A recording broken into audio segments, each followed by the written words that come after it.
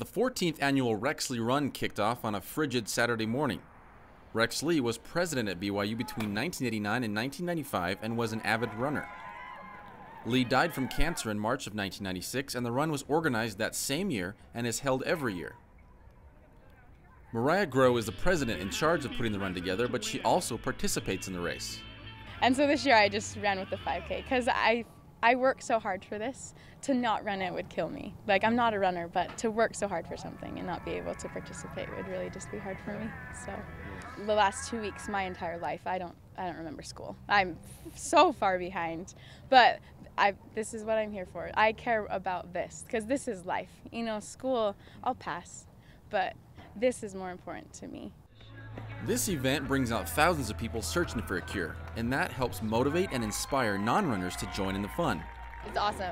It's a lot of people. It's a, it helps like, helps the running atmosphere because I'm not a big runner, but it's, it's really exciting. It keeps you going through the race and keeps you motivated, keeps you from stopping, so it's good. Josh and Sean both rolled their way to the finish line with the crowd cheering them on. Sean remarked that the challenges in his life makes his experience in the race not that difficult. Uh, what like I've been through, yeah. as far as what put me in the chair and things like that, uh, not a whole lot of people survive. So if great. I can do that, I can do in, this. Uh, third easily. place, we have another great turnout here at the Rex Lee Run. Is a couple thousand people participated. Some were here just to race and to support cancer research.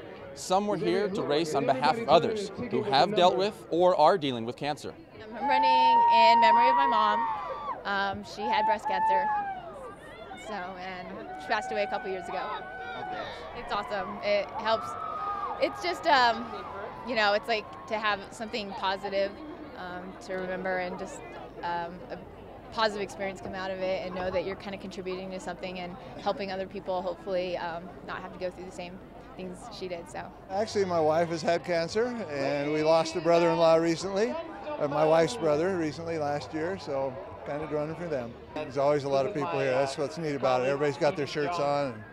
And, uh, just a, it's just a good celebration event. There's somebody who I always think of is one of the vice presidents last year. She went home. She was the vice president for four months, and then she went home over Christmas break, and she got diagnosed with cancer. And so I actually took her spot last year because she couldn't come back. And so while I'm doing this, I definitely think of her. And she's actually they just found out that she's clean, that she's clear and she should be back at BYU. And it just kind of gives you that hope that this is doing something, that there are people who are fighting it and they're doing exactly what needs to be done. And I think that that's who I always think of as somebody who's fought to find the cure and then fought cancer, and she's going to come back and be even stronger. For Leslie Moon from the 108th Ward at BYU. So, she's going through some hard times, and we're all trying to help her out, so we thought we'd do this for her. The event is a wonderful way to meet new people and enjoy yourself. But most importantly, money is raised for cancer research. Come next year. It really is a fun time. I mean, you you were here, you saw it. People people are they really just have a good time and it's all about finding a cure. There are people who just want to find a, a better time, but really it's about finding a cure. In Provo, Aaron Nilsson, True Blue.